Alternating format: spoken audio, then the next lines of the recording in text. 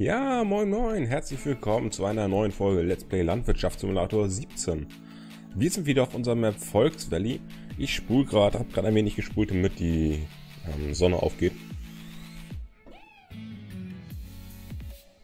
Ja, wir können mal gucken, was hier so läuft bei uns. Gestern haben wir den großen, ja, bei mir im Livestream, den Community Stream gemacht, MySexel. Das wird bei euch jetzt schon ein paar Tage zurückliegen. Das lässt sich ja alles nicht vermeiden. Denn ich habe ja, wie ich schon mehrfach erwähnt habe, ein wenig vorproduziert. Damit ihr während meiner Urlaubszeit, während ich nicht da bin, auch was zu tun habt oder was gucken könnt. Besser gesagt. So, auf der 14 ist was. Wir können mal zu 14 fahren, gucken, ob wir das schon ernten. 14 ist gar nicht unseres. 15 ist was. 15 ist Hafer. Gut. Vielleicht ist der Hafer schon gut. Ansonsten müssen wir sehen. Also, weil ich glaube, hier ist gar nichts gesehen auf den meisten Feldern.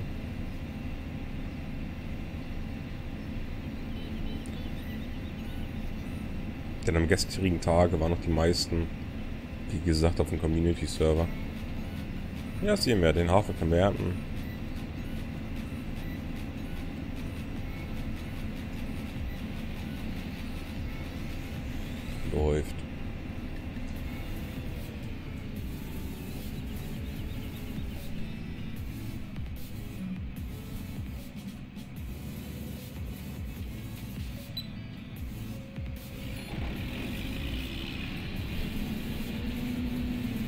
Mal ein bisschen Kaffee. Ne?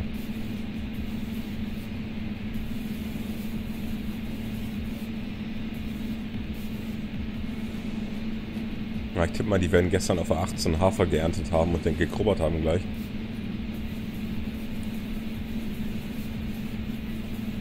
Sieht so aus, denn hier ist ja auch noch Hafer drauf. Ich glaube, Hafer, ja, Hafer haben wir relativ viel gesät.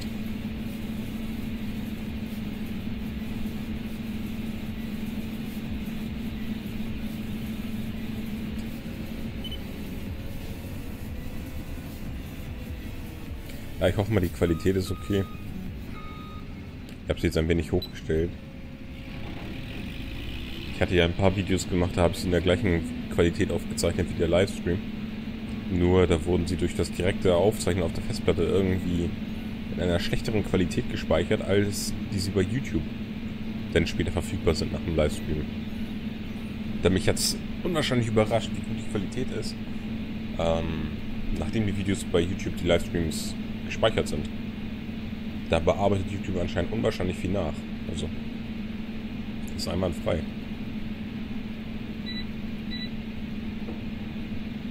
So, und ich habe ja irgendwas gehört, dass sie einen größeren Drescher wollten hier. Meine Kollegen. Da muss man mal gucken, bis wir da sind.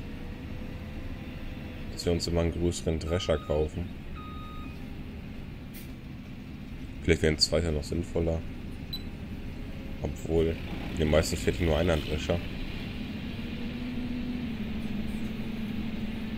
Oh, Sonne geht auch draußen. Schön, bei mir ist es 8 Uhr morgens. 8.30 Uhr. Schön entspannende Runde zocken. Oder ein paar Runden mal gucken. Muss ja ein bisschen, wie gesagt, vorproduzieren.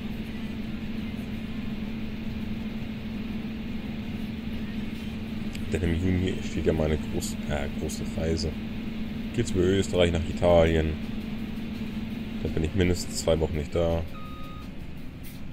Oh, ding, ding, ding. So. Mindestens zwei Wochen nicht da.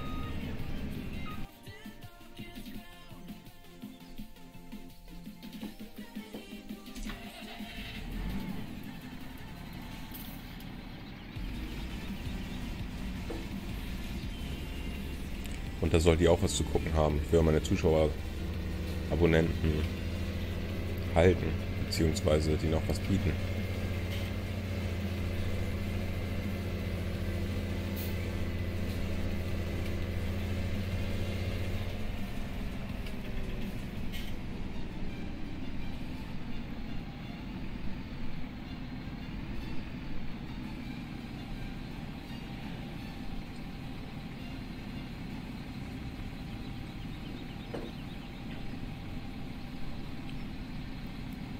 Ach, endlich wieder mit den richtigen Mods spielen hier. Mit Lands und so. Und sieht man wieder, was passiert. Nicht wie beim Häckseln, so dass du nur GPS-Mod, wie ich da reingehauen habe, nur GPS-Mod zu haben.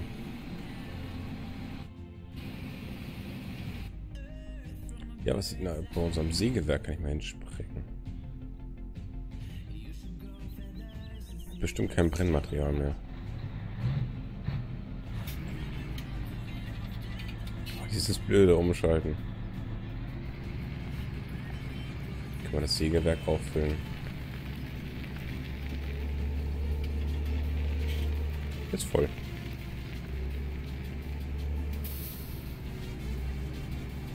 Okay.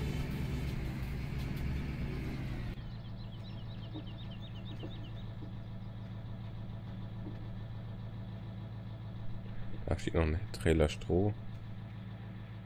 Hat er denn irgendeine Meldung, warum er nichts macht? Oder hat er kein Holz haben wir auch. Info, Bretterpalette voll.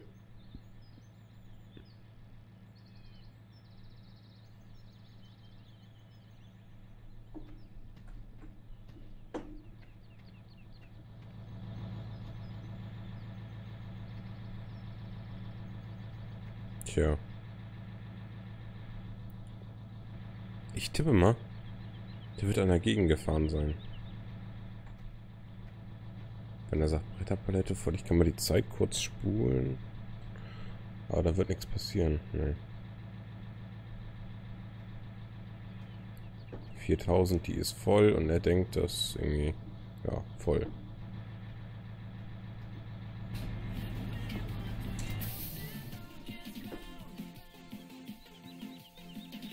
Tja, was machen wir da jetzt? Ich glaube, ich lasse es für meine Kollegen stehen, die kennen sich besser mit dem Sägewerk aus.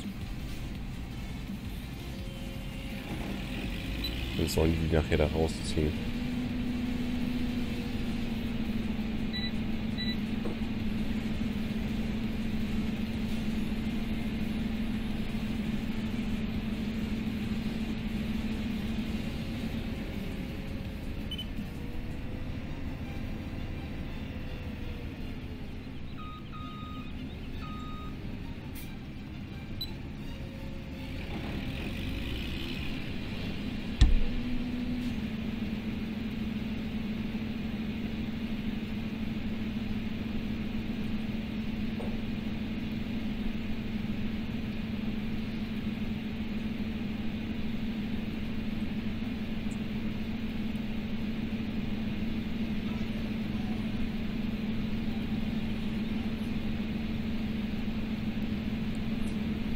Jetzt ohne Livestream habe ich ein bisschen mehr Zeit, mich mal auf, den, auf die, die Aufnahme zu konzentrieren. Beim Livestream muss man ja immer so vieles parallel machen. Mehr, dass du Leute da im TS meistens mit dir schnacken oder den Live-Chat. Auf was sind Fragen du, die Fragen, die du beantworten musst.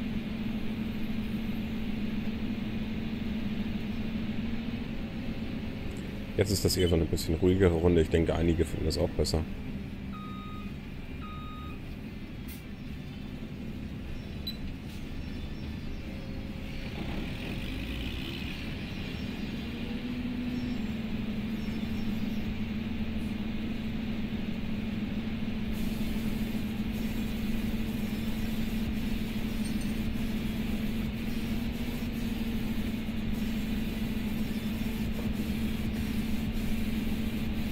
Was gibt's Entspannteres als am Morgen? Stehst auf, duschst du entspannt, machst dir einen Kaffee, setzt dich vor den Rechner, erstmal ein bisschen zocken und Kaffee trinken. Ich find's herrlich.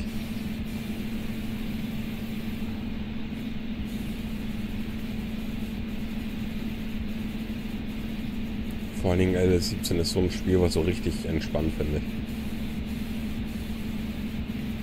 Da ist nichts Stressiges bei. Ich meine, es gibt andere Spiele wie Battlefield, Counter-Strike, da stehst du unter Spannung, da musst du Leistung bringen. Hier fährst du echt gemütlich das Feld. Hier erwirtschaftest du was, also du siehst auch, was passiert. Kannst dich vergrößern, hier mehr Felder dazu kaufen.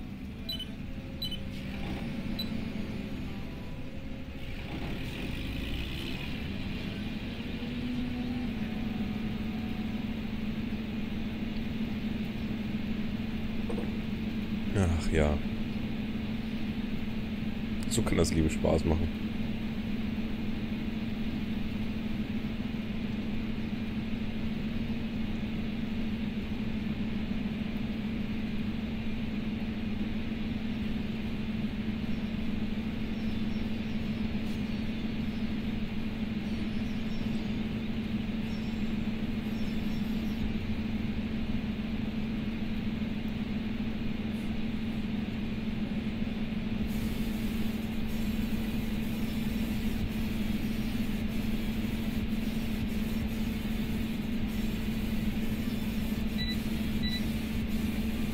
Ja, ich weiß auch gar nicht, ob ich die alten Folgen nicht aufgezeichnet habe, sind so zehn Folgen oder was. Ähm, die ich in Stream-Qualität aufgezeichnet hatte. Ob ich die überhaupt hochladen werde. Denn mir gefällt die Qualität nicht.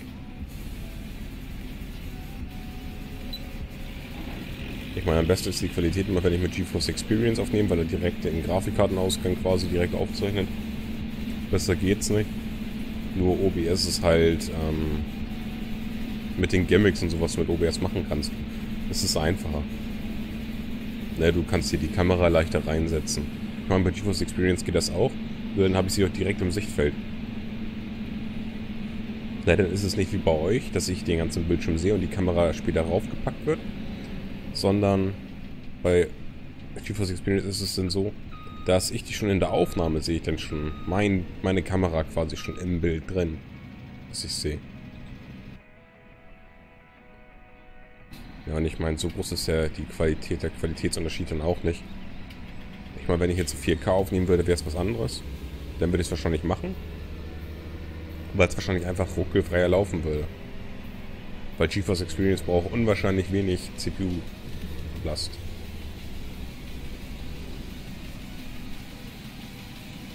Ja, läuft.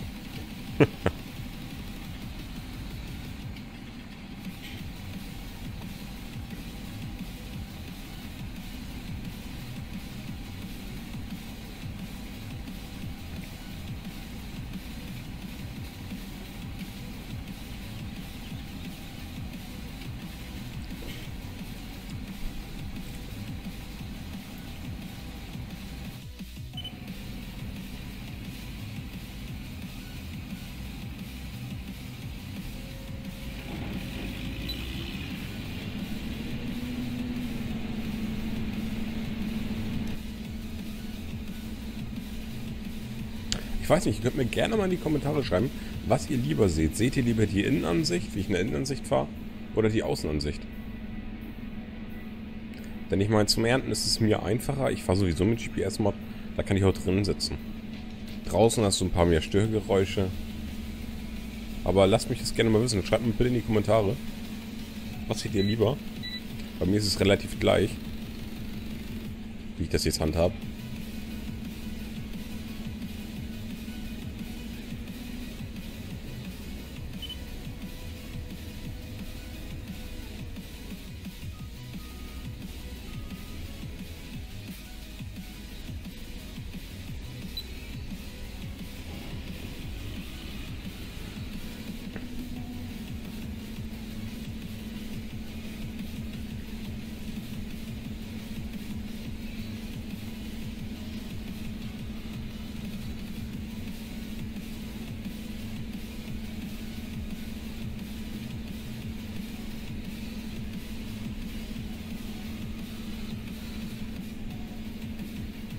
Tja, läuft.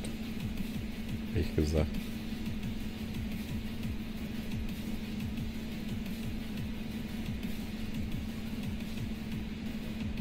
Ja, Waltra ist auch gar nicht so hässlich, ne?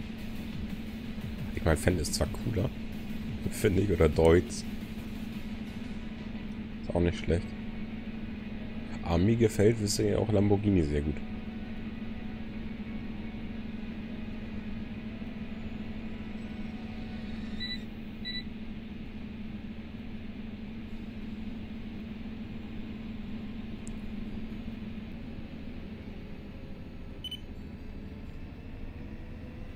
Man hat ja auch eine unwahrscheinlich hohe Ausbeute hier. Beim Hafer. Du fährst hier drei Bahnen und bist voll.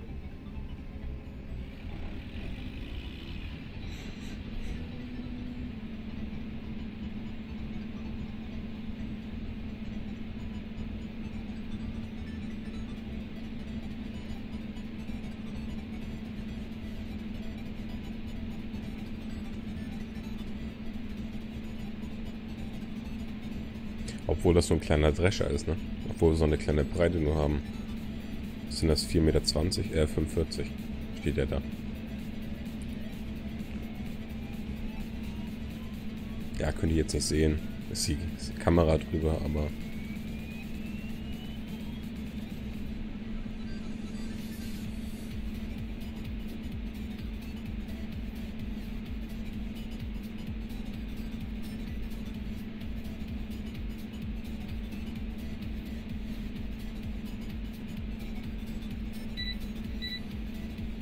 So, eine Bahn schaffen wir noch, glaube ich. Oder fast, wahrscheinlich nicht ganz.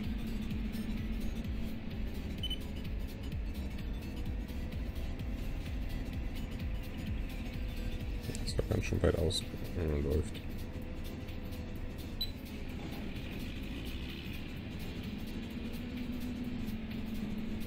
Läuft. 86 Prozent. Fahre ich gleich manuell zum Abbunkern.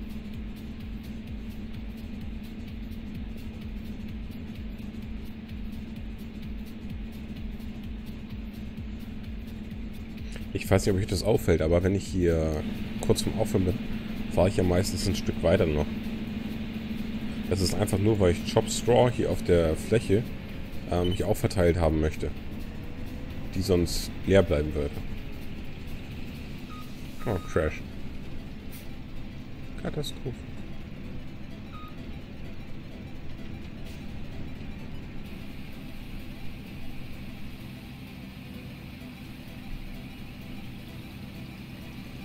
So kriegen wir ihn voll nicht ganz.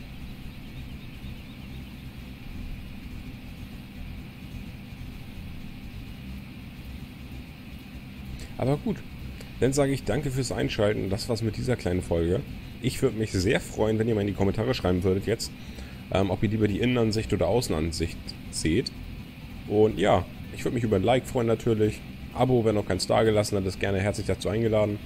Gut, bis zum nächsten Mal. Ciao, ciao.